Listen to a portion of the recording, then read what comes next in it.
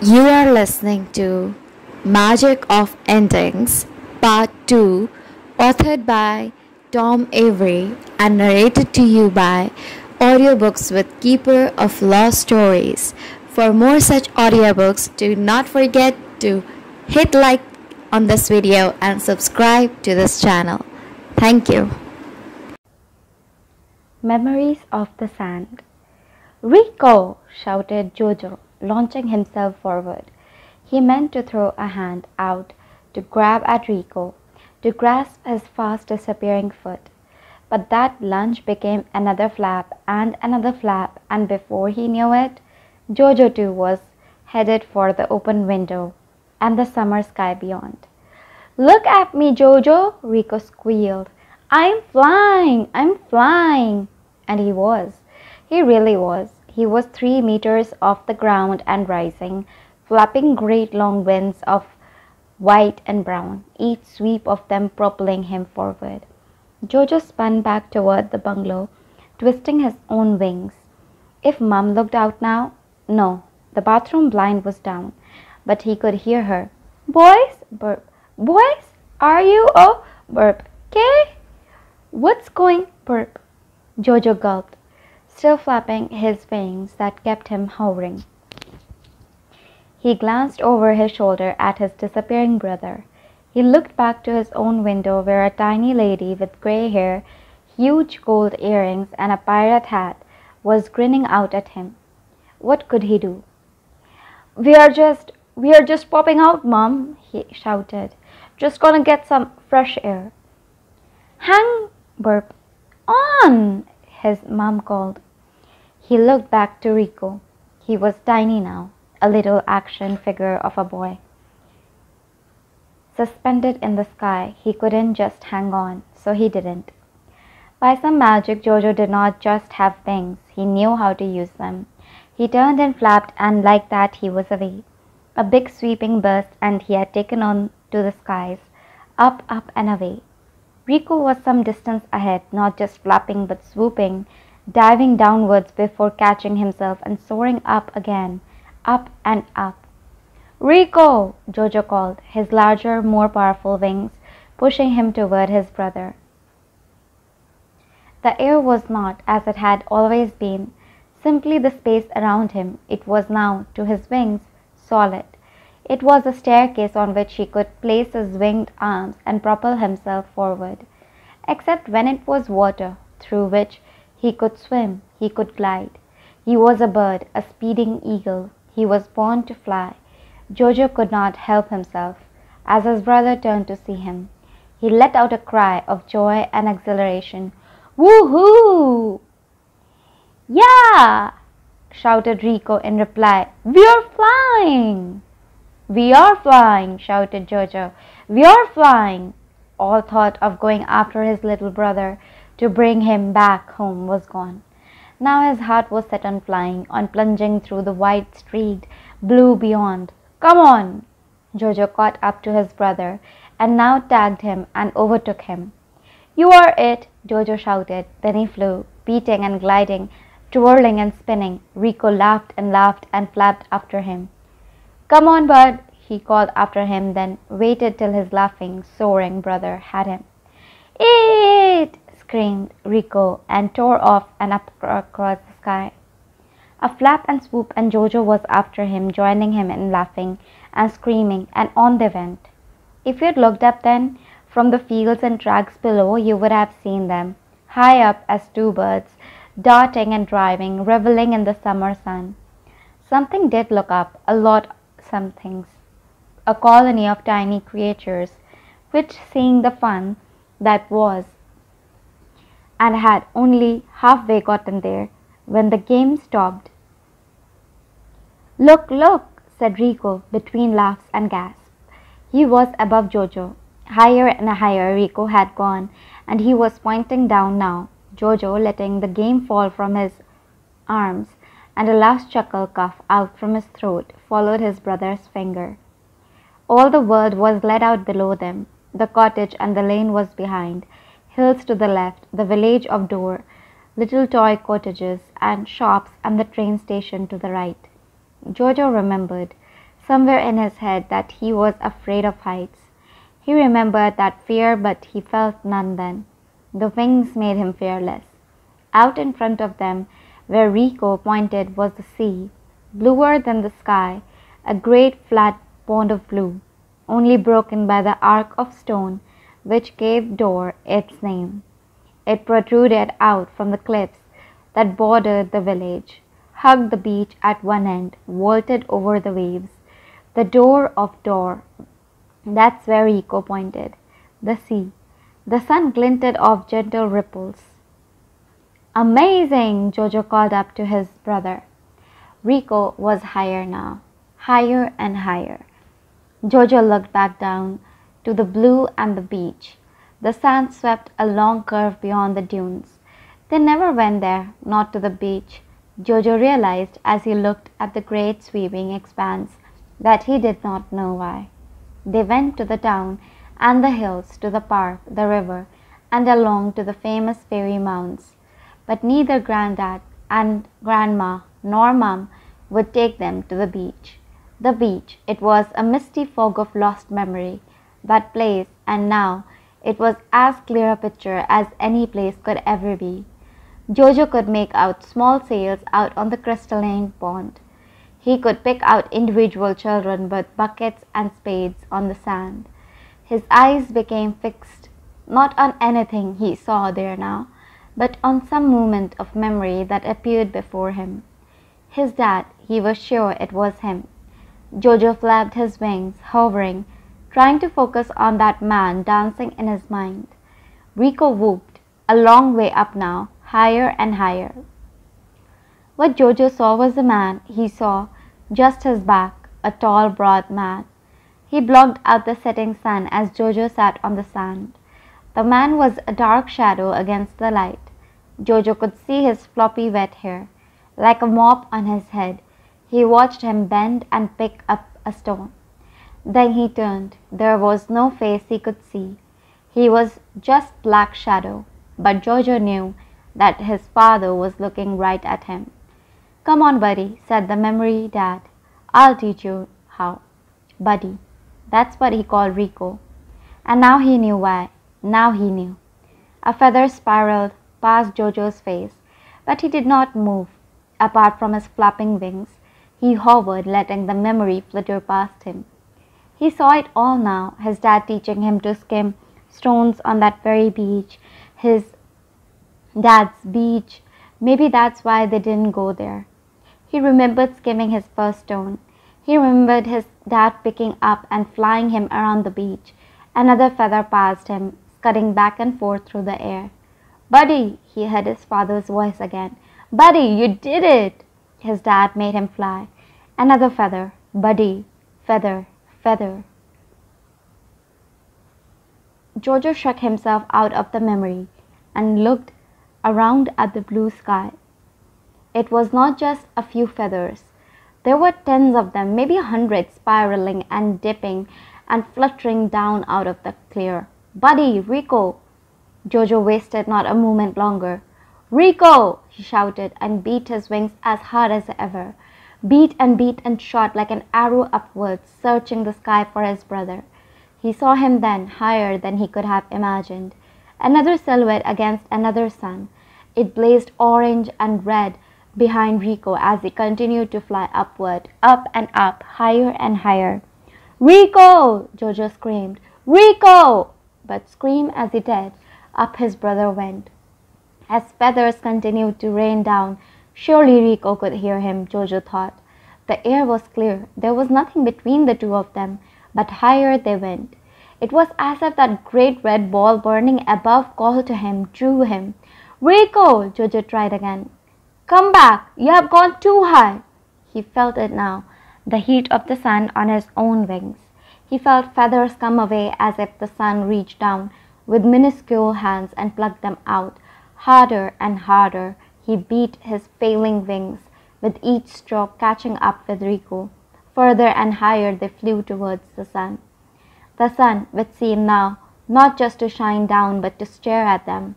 Rico! And with that last shout, Rico's wings burst with a final puff of feathers, and from far, far above what sounded to Jojo like a cry of laughter. As Jojo continued to shoot upward, Rico began to drop. Jojo's heart hammered, sweat coated him beneath his t shirt. He had moments to think, moments till the two would meet. Could he just catch him on his back, catch him and piggyback him down? It was the only plan he had. Spreading his own ragged wings, Jojo stopped himself and began his own descent, slowly, not driving downwards, letting himself begin to fall, watching over his shoulder for his plummeting brother, watching him as you'd watch a football, following its path, ready to catch it on a stretched foot. Only this was no football, while if you missed it, would carry its path onward to the next player or off for a throw in. This was his brother. If he could, Jojo would have reached up to wipe the tears which streamed from his eyes, but he could do nothing but strain forward to keep the limb from his brother in his eye line, to try with all his might to make their paths intersect. Nearly, nearly. Jojo spread his wings and tried to glide beneath Rico, missed him. Rico kept on falling. No! screamed Jojo. Rico! But there was nothing he could do, nothing. His own wings were shredded. He did not even think he could stop himself falling. Rico ahead and he behind. They fell. Back down to earth. The wind battered Jojo as he tumbled downwards, desperately trying to spot his brother through tear streaked eyes. He was sure he could see a dark cloud below, but the sky had remained clear, blue as they had played about and flown upward. It could not be a cloud. Or could it? Could it? It was not just dark but speckled with color green, brown, and gray. It was not a cloud. Rico hit it, slowed, then disappeared into a haze. Now Jojo did lift a hand or wing to wipe his eyes. The last of his feathers quickly pushed aside the tears. He opened his eyes and he too entered the cloud, which definitely wasn't a cloud. Tiny hands, thousands of them, grasped hold of Jojo. His clothes, his fingers, his feet, tiny, tiny hands attached to tiny arms and tiny bodies. The creatures which had risen to join them from the wild flowers were not insects, not at all. They were people. of some kind, far, far smaller than the fairy Aunt Pen. The one holding Jojo's collar just in front of his eyes was no bigger than a mouse, a minuscule person dressed in grass green with the wings of dragonfly. Jojo did not stop falling, but he slowed as a thousand hands pulled him upward. Little faces strained, tiny voices sang out together. He slowed and slowed, and he could see just below him his brother slowing too. Thank you, thank you, Jojo gasped at the tiny woman who strained at his collar and pulled upward. If she heard him, if she understood, she did not show it. The tiny people and his brother were not at all Jojo could see. The ground, the fields, and their own cottage still approached quicker than he could have liked. Still, they slowed, and still the world rose to reach them. Jojo could see exactly where they were heading. The barn, which sat across the road from their grandparents' cottage, they were nearly upon the moss covered corrugated floor and the roof. Jojo screamed as a thousand tiny hands let go and a thousand tiny people flew away, back to the safety of their meadow. There'd be no falling boys there to rescue. Jojo screamed as he and Rico crashed into the ancient roof. The roof crackled and broke. The pair tumbled finally onto a burst bale of old scratchy hay, and Jojo found himself staring upward at a blue sky through a hole almost exactly his size. Have fun? said a voice. Jojo did not turn to look at Aunt Pen, not right away. He tried to catch his breath. He lay still and breathed in deep, coughed and choked. He took his asthma pump from his pocket he took a puff and another, grateful to his past self for not leaving it in his muddy pajamas. Finally, he turned to where the fairy, now just in the form of the old lady Aunt Pen, sat on dry and dusty bale of hay. Fun, he said, sitting up. Then he turned to his brother, who was sitting up beside him, shaking his head and grinning. That was amazing! Rico shouted. Amazing! But how did we? He didn't finish his question as Jojo, knowing his brother was safe, turned back to the fairy. Why didn't you stop us? Why didn't you save us? Stop you? Aunt Pen said. Do you think I'm in charge? In control? Not I. Save you? Sometime, Jojo Lock, you will have to do the saving. You will have to save your family, and besides, I saw the Piskies come for you. Pixies? Jojo said. They were pixies? Piskies, Aunt Pen said. Piskies, not pixies. There are many of them in your world now, trying to see out the falling darkness. Even they, smallest of the Seelie, know that you are worth saving. And to your question, young Rico, how did you fly? Well, shall I tell him, Jojo, or would you like to? Piskies, Jojo muttered. There was more to see, more to find of this new world opening before him. More creatures like Aunt Pen, more wonders. I, I can't, Jojo said. Rico was standing now and brushing dust and hay, bits of roof and feathers from his pajamas. Tell me what? Jojo stayed sitting. He looked from Rico to Aunt Pen and then back again. She, he began. Aunt Pen, she's, well, yeah, said Rico, his little brow wrinkling. Aunt Pen is a fairy. And as he said it, the old lady with the wild white hair on the hay bale jumped down and her heap became a whirl of cloth and hair and wrinkled skin, and the person that landed was no longer the auntie, but the fairy in the pirate coat and hat. The dozens and dozens of bandoliers, sachets, packets, parcels, and pendants across her chest jangled as she landed. Rico's mouth made a big, elaborate O. What? he said. You are a fairy, the wizened miniature pirate said. Amazing! Amazing! Amazing! I know, replied Aunt Pen, grinning her grin. Jojo shook his head and sighed. Can I make a wish then? Can I make a wish? Rico shouted, leaping and shaking the last of the feathers from him. No, said Jojo, as Aunt Pen said, Well, but Jojo carried on the quickest. We can't just go making wishes. He is right, sort of. I do have certain limitations. There is a plan here, Aunt Pen tried to say, but Jojo went on over the top of her. She doesn't know what she's doing. She's dangerous. How dare you? said Aunt Pen. I'm not just any fair. But before she could further, Jojo said, She made Mom sick when all I wished for. Well, you weren't very specific, see? said Aunt Pen. And I did make it happen. Mom has stayed one more day.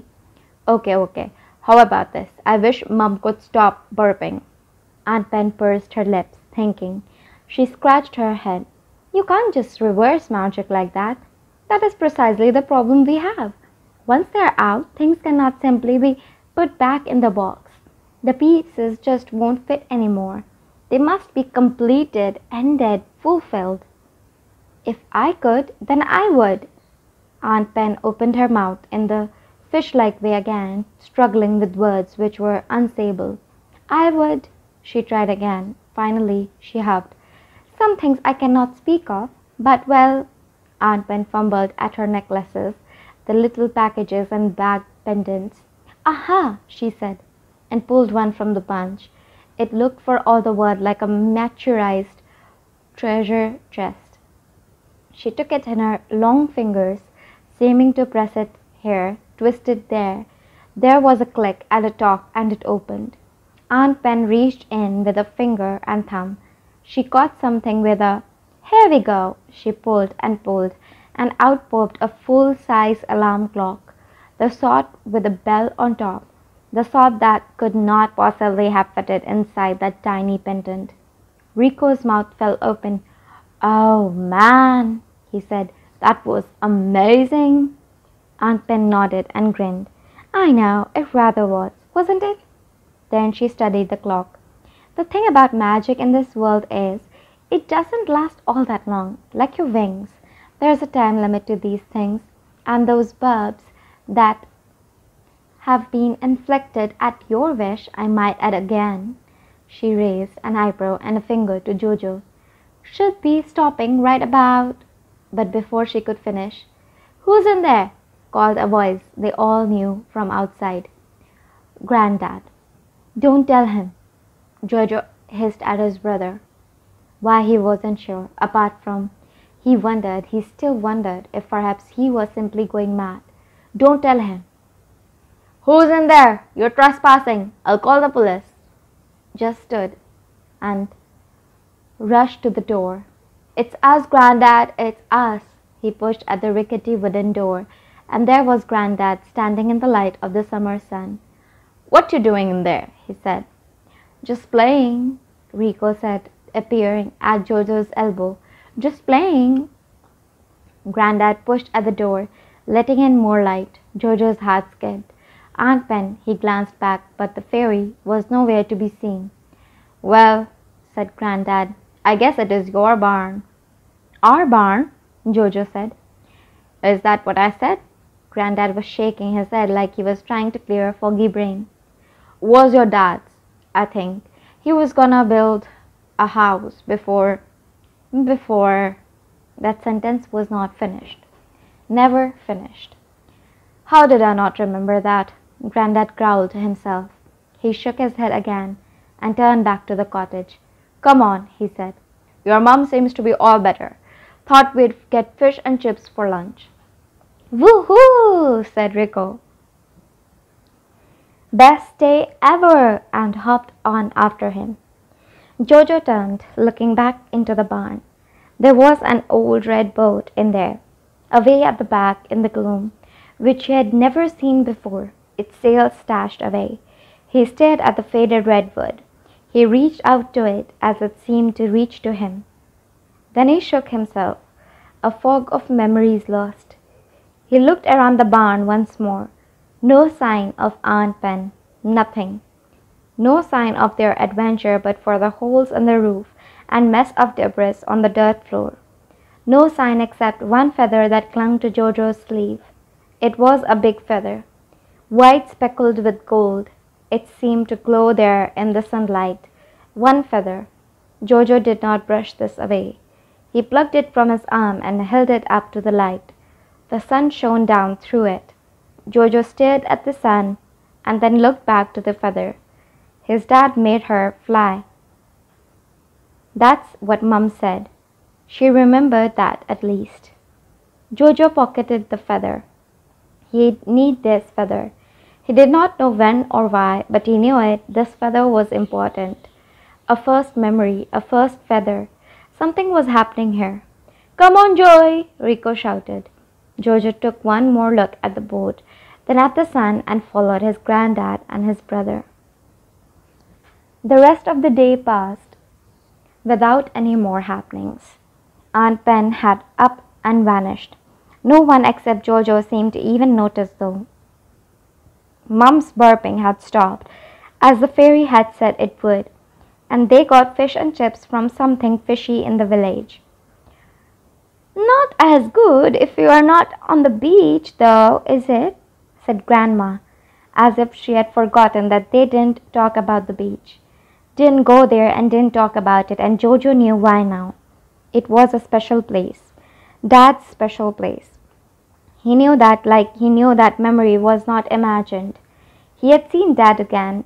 His vanished dad was reappearing, was breaking into Jojo's mind. He just didn't know why.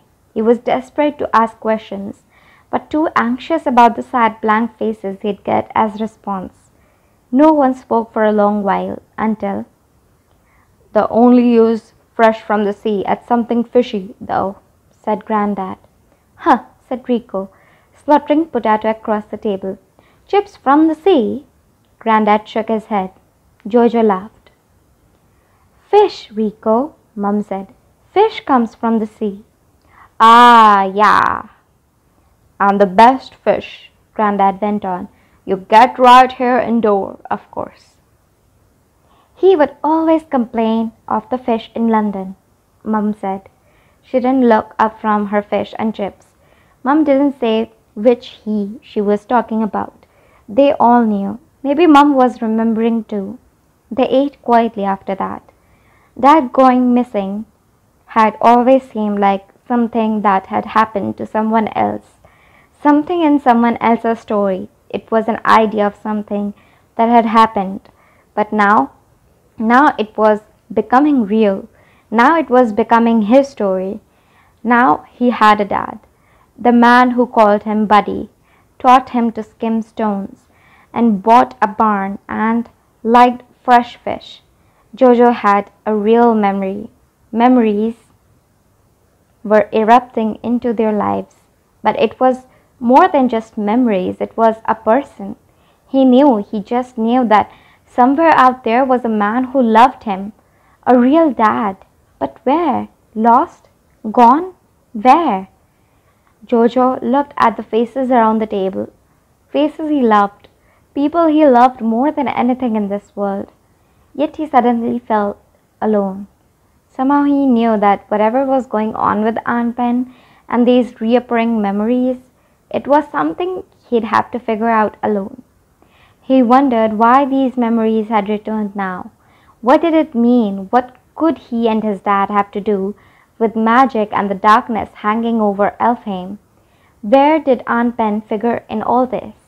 Where was she now? And what was it that she couldn't tell him? This was surely just the start of the story.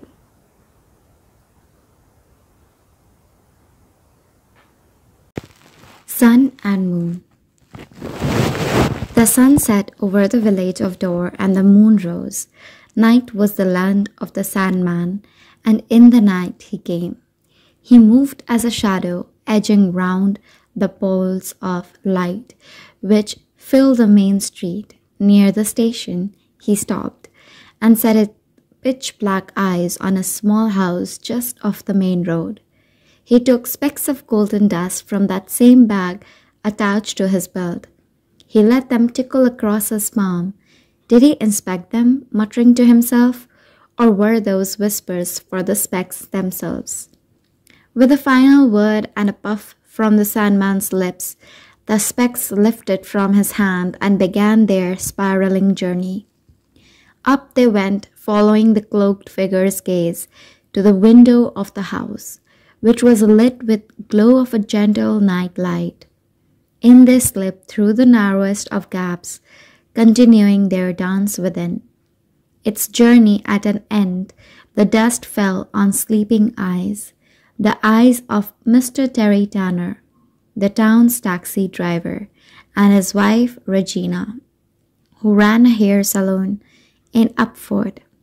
And soon they dreamed, he of a brand new car, a large black one with big wheels, which she drove up to London and around the streets while everyone looked on, amazed. She dreamed of a holiday, of lying on a sunny beach. The Sandman had not tarried. He slid along the high street from dark to dark, and then he stopped again. He stopped outside a glass fronted shop. It read Clarks and Clarks in big gold lettering. The Clarks had been the town's bookkeepers for as long as anyone could remember. Mr. Clark had taken over from his grandfather, who had taken over from his grandfather, and so on. Right now, though, it was a young Miss Cherish Clark, 12 years old, that the Sandman was visiting. He took a pinch and puffed and made her dream of pulling on her football boots and playing for England in the World Cup final. Further on and further out of town until the Sandman stopped at the cottage of the highest family. Here he left dreams of outer space and flights among the stars for the eldest in the family, old Mr. Hayes, the dairy farmer. There were many dreams that night in Dor. Before the Sandman made his final stop in a field of wild flowers, overlooking the furthest flung cottage. The Locks, married to the Trottons, the oldest of Dor's old families. The Trotons had been visited by the Sandman in Dor for over 300 years. Is that what helping him looks like to you? said the Sandman. At first it appeared he spoke to no one. No sound but the gentle chatter of piskies and their own language which even the Sandman could not understand. Nothing stirred beside a ripple in the wildflowers, pink and yellow and white, and the tall grass that surrounded him. Banpero, you are here. The meadow rippled again, seemed to shake itself, and then a tiny figure rose from where she lay amongst the plants. I am here, Banpero said, as you well know. Well, said the Sandman. He had not turned to look at the fairy, who was now seated on a rock beside him. Instead, he stated and stared down the slope to the one story cottage where the Lock boys slept, their mother and grandparents too. Hmm, replied Ben Banpero. The boy has needed some shaking. Shaking, said the man in black, and you could be sure beneath that black cloak an eyebrow rose high in question. Your sister has done more than shaking. Your sister has wrought terrible magics. Your sister has broken the very contract that holds the worlds together, Banpero finished. I know this better than most. I have seen it. Banpero's mind went back to that grey and empty land where she had taken Jojo. Everything has been lost to Mab's madness. Even my sisters are gone, lost and scattered. Even my own Aud, the oldest of us all, the singer of the song, is gone to who knows where. I know what is at stake, Sandman. Banpero's voice had risen, grown to something fierce, and with it had risen a cloud of piskies buzzing around her, something fierce. Their chatter becomes a hiss of anger but then the fairy yawned and the piskies dropped back down to their flower bed homes. You grow tired, the Sandman said. Banpero had eight since last they spoke. Her hair was whiter, her skin was wrinkled. She sat a little less straight. Do you have enough in you? Enough fire left? Banpero breathed in deep, then sighed. I am tired, she said. But I'm not yet a slave, not like the boy. I know. I believe I know what I am doing. He does not. Not yet. But all the tire that is left, and all the fire it is, I will place in his charge. Soon he will see. Soon he will act. The Sandman stood. Soon he must. He must see the path ahead. If he is to find the lost lock, he must see the way and he must walk it. Hurry, Banpero. Banpero did not stand to join him. She dipped her head and sighed again. All you see are the things that will be, Sandman, master of dreams. You underestimate the knowledge of what has come before. To shape the present, you must first understand the past. But the Sandman was gone. Memories, whispered Banpero. That's what the boy needs. He must know what he's lost before he knows what he wants. Mr. Goodfellow. The next day, Jojo rose late. The rest of the house was in full swing. Grandad was back from his walk. Grandma was watching her workout routine. She didn't actually do much the routine, but she liked to watch and move, even if just a little. And Trevor liked to watch Grandma. Mum had gone to work. There was a note beside him on his pillow. Jojo read it, still lying in bed. Sorry, Jojo, had to go early. Too much to do. So sorry I can't be there. I tried to wake you, but you were fast asleep. Have a lovely day, sweetheart. I'll see you real soon. Mum, she had gone. No proper goodbye. The notebook shook a little in Jojo's hand. He really was alone. And then he read the final line Aunt Pen says she'll take you out. Exciting. Exciting? Exciting or terrifying? And where was Aunt Pen? Jojo sat up. He looked around the room. Rico's sleeping bag was empty. Where was Aunt Pen and where was Rico? No, no. He should have thought of this. He should have been up before Rico. He had to protect him. Who knew what wishes Aunt Pen could be granting at that very moment? Jojo dashed through the living room. Morning, Grandad said, looking over his newspaper. And one and two, Grandma said, slowly grating in time to work out routine. Morning, Jojo called over his shoulder as he burst into the kitchen. He got one look at a grinning Aunt Pen as Rico opened his mouth and said in a cheerful cheer up, I wish my dreams would come true. Jojo skidded to a halt, bumping the table, sending the salt shaker rocking and then rolling away. Oh no, Rico, what have you done? he said. Rico just grinned at his brother as Aunt Pen wriggled her nose and blinked. There it was, that flash of light, and then nothing. Jojo held his breath. So, said Rico, what we waiting for? Hmm, said Aunt Pen, looking at her hands, which seemed to wrinkle and crease before their eyes, light brown spots appearing on the dark packing paper skin. What was happening to the fairy? Was she growing older? Did each wish age her just a little more? She looked up at Rico. You see, it's not an exact science, this magic, more an art form. Never sure exactly what might happen. She stuck a finger in her mouth, plugged it out, and thrust it in the air like she was testing the wind. Something is happening somewhere. I guess we'll have to wait and see. Jojo took a breath and sighed. Then, Rico, he said, looking crossly at his brother. Rico still grinned. Exciting, isn't it? This is gonna be amazing. This is, this is, Jojo, shaking his head. I told you she doesn't know what she is doing. You need to listen to me. This is gonna be terrible.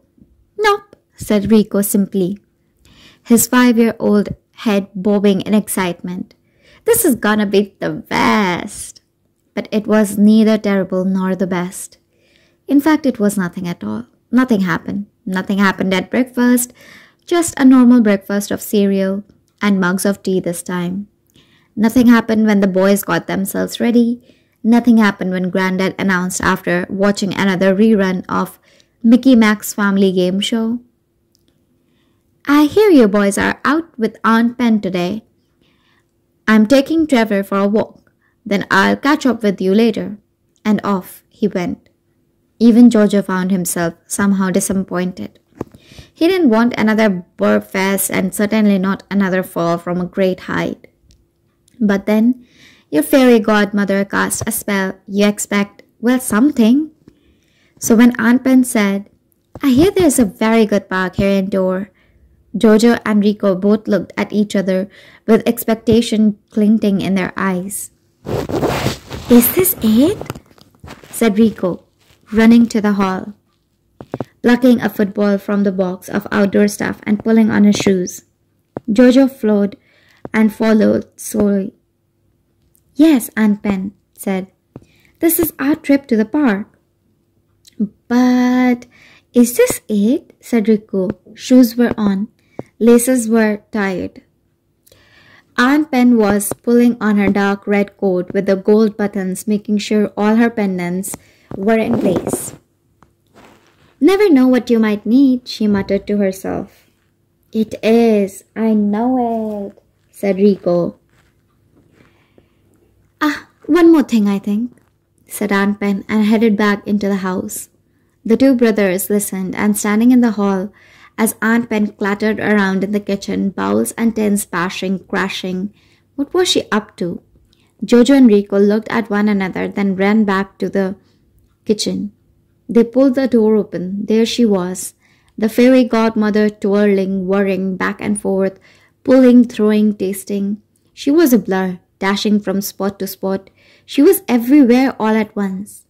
Flour flew in the air, sugar poured from a great height, eggs were juggled and spun from one side to the other.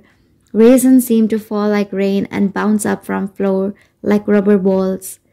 Through it all, you could hear Aunt Pen singing an indecipherable song of unknown words. Rico let out a laugh. Ha!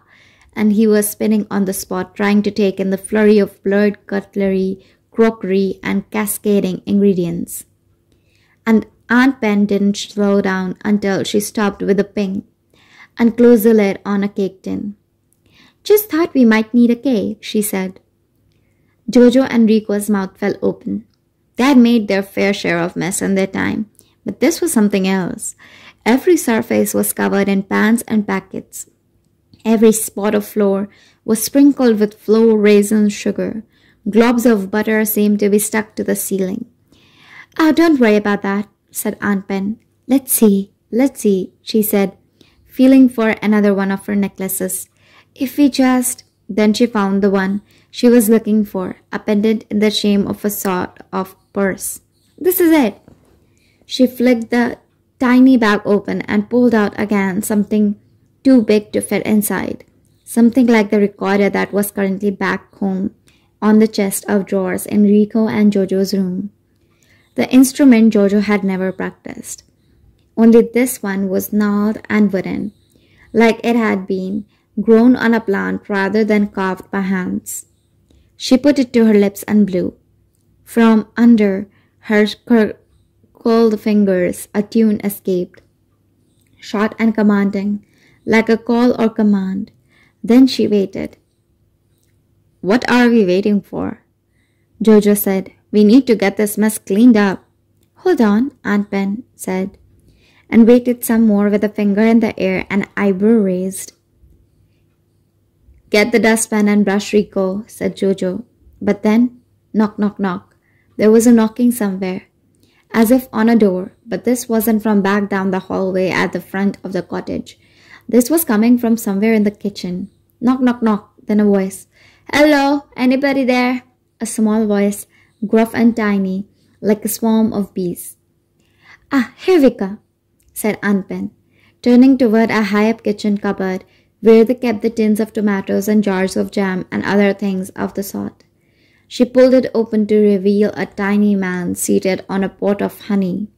His eyes were bright and twinkling like that of a young boy, but his face was aged and craggy like Grandad's. He wore something like the clothing Jojo had seen the fairy version of Aunt Pen in, only his were all browns and grays. He was smaller than the fairy, yet taller than the Piskies. He was the height of a school ruler. Mr. Goodfellow, said Aunt Pen. Ooh, lovely bit of baking, said Grandma, who had entered the kitchen on silent slippered feet and was looking at the incredible mess with a small smile on her lips. At your service, said the tiny man. Good afternoon, he said, raising his little hat to Jojo. Hello, he said, winking at Rico. Charmed, he said, with a small bow to Grandma. You may call me Hob. What a delightful man, said Grandma. Are you here to check the matter? Jojo and Rico was lost in silence again. Very good, Mr. Goodfellow. Did you have far to come? said Aunt Pen. Not at all, not at all. Just servicing a rather nice house in Upford. All done. Spick and span as usual. Wonderful, said Aunt Pen. Well, just a little job here. Kitchen needs a tiny spruce. Jojo, with his mouth wide again, managed to say and shake himself back to life. A tiny spruce? This place is an absolute mess. How can this, this, I don't know. Are you a fairy too? How can he get all this sorted? I beg your pardon, said the tiny man, getting up from the house and honey jar, looking back at it, then with one swift movement spriting it away inside his brown tunic. I am no such thing, you people. Think you know everything. You're nothing. I, as anyone in old Albion could tell you, I'm a goblin. Absolutely finest cleaners, sorters, neateners, declutterers, ship shape makers defiers and organizers in all the world. Thank you very much. With this, he lifted his chin and turned to Aunt Pen. Just the kitchen, Fairy. Just the kitchen. Well, maybe you couldn't fix Mrs. Lock a little lunch too. Ooh, wonderful, said Grandma. Cheese and toast, please. The goblin, Hob or Mr. Goodfellow, as Aunt Pen had called him, gave another little bow. I would be most honored to serve lunch to such a fine lady. If you would care to take a seat. Grandma bustled past the two boys, still crowded in the doorway. A delighted man, she said. Just delightful. The goblin leaped from the cupboard, flipped, twisted, and landed with a roll amongst the flour and raisins on the floor. I'll begin here, I believe, he said, and proceeded to pull a large dustpan and brush from within his clothing. I'll take my payment where I find it, he added. Of course, of course, said Aunt Pen, pointing the boys out of the kitchen and snatching up the cake tin from the egg and butter smear table. Let's leave Mr. Goodfellow to it. We can't just, started Jojo. We can, said Aunt Pen as the door swung shut behind them. The kitchen, cried Jojo. Will be spotless when we return, said Aunt Pen as she hustled them into the hallway. But Grandma is in excellent hands. She'll have the best cheese on toast of her life. Goblins, as well as being excellent cleaners, happen to also be very fine chefs. And with that, Jojo, Rico, and Aunt Pen were out of the door and on the way to the park. That was awesome, said Rico. It rather was, wasn't it? Aunt Pen, grinning her usual mischievous grin and heading out into the world. Lost in the Park The park was busy. There were little kids than Jojo all over the playground, which looked out towards the hills around Dor. Rico, still clinging on to the football he had bought, ran off to climb the big knitting pyramid. Jojo scanned the light zip line climbing frame and settled on a sulky swing. Aunt Pen watched on from a bench like she was just an ordinary aunt, taking her nephews to the park. How could Mum and Granddad and Grandma all believed that she was their godmother, even though they had never, never seen her before? Must be magic, bad magic. Maybe she wasn't here for good. Maybe she was here for bad. Jojo sat on the swing, his legs dangling, his face pointing away from the hills. He knew if he swung high, you could catch a sliver of the sea beyond the village. He didn't want to swing high though. He was too busy thinking. Aunt Pen seemed to be asleep on the bench. Rico had made some friends at the top of the pyramid Rico was like that. They were seeing how high they could jump from it. Maybe Jojo should be taking advantage of this whole thing. If she was his fairy godmother, then what should he be wishing for? If Jojo would wish for anything, if he was going to Penperrow's magic, what would he wish for? Riches? Adventure? Finally, Jojo kicked off from the ground, swinging his legs back and forth. He was flying then, not really flying, not like the day before. He wondered, staring up at the sky, falling back down to the ground again and again and again. If he should phone Mum to tell her about who Aunt Pen really was. But he knew, he just knew that it would sound even stranger over the phone, all this magical madness. Grandad? Maybe he should tell Grandad. What would he say? How would he even begin? sky swing, ground swing. And would he believe him? Could he believe him? Ground swing, sky swing, Rico ground swing, Rico sky. Jojo! Rico shouted. Let's play football.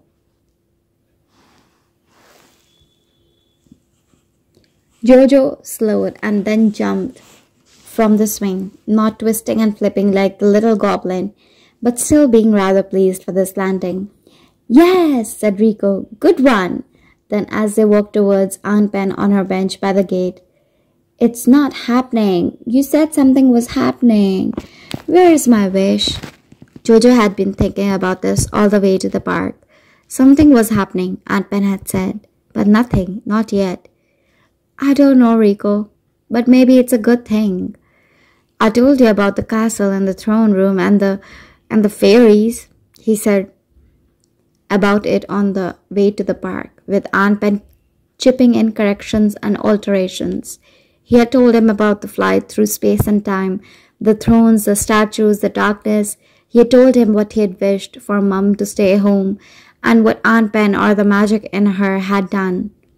Who knows what your wish will turn into? Who knows what dream she'll pick? What? Well, you said you want your dreams to come true. You didn't say what dream. You've got to be specific, I think. You think? Oh, football, said Aunt Pen, rising from her bench. I love football, one of the best I am. They played football on the big field where the woodland started. You could walk that woodland all the way along the river which ran from Upford to Dor. Jojo knew that because they had done it with Grandad. It was Grandad's favorite walk. He liked to walk from here to the fairy mounds, a clump of little hills on the edge of Upford, which legend said were the ancient homes of fairies. Each was topped with a ring of stones bedded in the ground. Grandad was there a lot. He said they were important but could never say why. He just knew it. What had Aunt Pen said about fairy mounds? They were the way into her world. You just needed to walk around them in a storm. Jojo would not be doing that in a hurry. The sight of that dark land filled his thoughts and filled him with fear. Especially the throne room. What did it mean? Why had they flown there? Why there? Why him? It seemed so unreal in the middle of the day in the park. Little did Jojo know this was also the woodland where Dad had grown up, building dens, climbing trees, finding animal burrows, and camping out at night to try to spot the creatures. Granddad had not told them, because Granddad, like Jojo, had a big empty space where his son should be. Aunt Pen fiddled around her necklaces, then found one that impossibly contained a portable football goal. She pulled it out of a tiny pendant like a magician, pulling out infinite handkerchiefs and swapped it for the cake tin. Jojo kept looking round to check no one was watching. They didn't seem to be. Aunt Pen plonked the goal down in front of thick trees. And then they played. Aunt Pen really was rather good. She was a good bit better than Rico and Jojo at least, and Rico was good, like really good. He was six years younger than Jojo, but better than him already. Even Jojo knew that. Aunt Pen, though, was even better. They played knockouts. First, Aunt Pen beat Rico, dancing round him, slotting the ball through Jojo's legs into the goal. Then Aunt Pen beat Jojo with a mazy run around a family picnic. She flicked it over a dog and catching the ball on the volley sent it rocketing past Rico. A girl called Cherish asked to join them. She was small but whippet quick and older than Jojo. They made Aunt Pen go and goal, but even with three of them working together, they couldn't put anything past her. To Jojo, to Cherish, to Rico, back to Cherish, whack, dive, save. Cherish laughed. Your grandma's really good. She's not our, began Rico. She's our aunt, said Rico. Thank you very much, said Aunt Pen, bowing. As good as you may be one day, Cherish Clark. The girl blushed, gulped, and frowned all in one. Jojo looked from one to other. What did Aunt Pen know? He didn't ask. How much would Aunt Pen say if they let her? Come on, Jojo said. We can beat her. But they couldn't. It was strange to see this old lady leaping one way, sprinting the other, rolling, twisting, beating the ball away in her big skirt and necklaces and coat. People had stopped to watch, cheering as this old auntie flew around the park. Jojo, Rico, and Cherish were gasping and sweating, but Aunt Pen was fresh as Daisy. Come on, you three, she shouted after she had yeeted the ball halfway across the park. You gotta have more than that. Rico looked at Jojo. Penalties? he said. Jojo nodded. We're gonna take penalties, Rico shouted back to Aunt Pen, then trotted off to retrieve the ball. Right you are, she said. Rico took the first one hard and fast toward the bottom corner. Aunt Pen dove and caught it in one curled hand. Cherish next. She tried the other corner. The same result. Jojo booted it straight down the middle. Aunt Pen punched it away with a growl of victory, then a laugh. National five-a-side champions we were, me and my sisters, a long time ago. Sisters? She had mentioned her sisters before, but it was now that Jojo thought how remarkable this was. She had her own family somewhere, a family of fairies. He wondered if they were close, if they got together for holidays and Christmas and stuff. Penalty after penalty, Aunt Pen just caught them or swatted them like they were flies. There were more cheers for the fairy godmother, and she enjoyed everyone. Raising her fist in the air, she grinned to the small crowd of picnickers and dog walkers and teenagers who had given up their game of frisbee. Rico had given up too and was sat in a little heap of boy of the goalpost. Right, said Cherish. This is it. She planted the ball on the spot. She took a big run up. The crowd started a slow clap, getting faster and faster as Cherish approached the ball. She swung and smacked it. It soared, spinning in an arc from the goalie toward the top right corner. It was going in. Surely this one. You have never seen a penalty like that. Jojo stood and stared. This was it. And then, like a cat, Aunt Pen pounced. Her arms seemed to stretch. Jojo could have sworn she gave a little nose wriggle, an imperceptible blink. Her hand shot out like a bullet. Her fingers clawed. One finger, the longest, grew a little longer and caught the ball at the very last moment, sending it spiraling past the post. The crowd groaned, no goal, then cheered, What a save! Oh, come on, muttered Jojo. No goals and the ball was gone somewhere into the woods behind. Rico leaped up. I'll get it. And off he ran. Good effort, Aunt Pen called to Cherish. Oh, no, she said, her eyes on her watch. Oh, no. Have you seen the time? I've got to go. Then she turned and ran. Sorry, she called over her shoulder. Sorry about the ball. If I've lost your ball, I'll replace it. Don't worry, Jojo said. Then half waved and walked over to where Aunt Pen stood in goal. Did you see where it went? Rico was shouting from the edge of the woods. I can't see it. Aunt Pen was grinning from ear to ear. I'm rather good, aren't I? Jojo stuck out his tongue and laughed. It must be. Around there, buddy. Right where you are, he called to Rico. Rico stepped further into the stand of trees, further in, further away from Aunt Pen and Jojo. The crowd had all left, returning to dogs and towels and their abandoned frisbee, not bothering to watch a boy searching around for his lost ball. Nothing, shouted Rico. Hmm, mysterious, said Aunt Pen.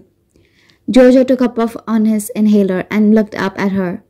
What have you done? Me? Me? I don't do anything, only what you ask.